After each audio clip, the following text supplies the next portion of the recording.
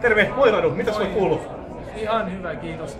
Me ollaan tässä nyt tuota, vaaliristeillä, että kokoomuksen tulevalla risteillä, että me ollaan tekemässä vaalivideoa tästä, niin tota, mitäs sulla, äh, missä sä oot ehdolla ja mitä sä asioita ajat? Olen ehdolla Turussa ja ajan, ei kun mä katson milmin sua. Sä katsot mua! mä puhun sulle eikä kameralle.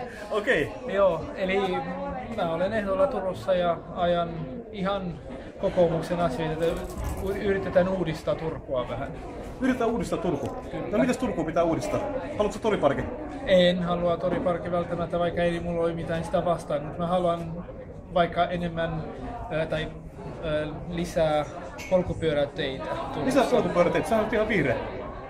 Vai onko Miksi, vihreä, vihreä? miksi niin vihreä se kuuluu? Myös kokoomuksen ää, toiminta-ajatukseen. No niin onkin, joo.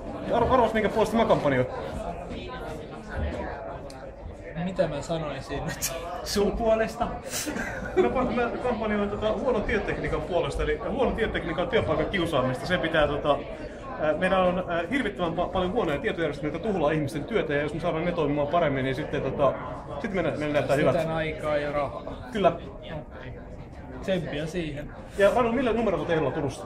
156. 156.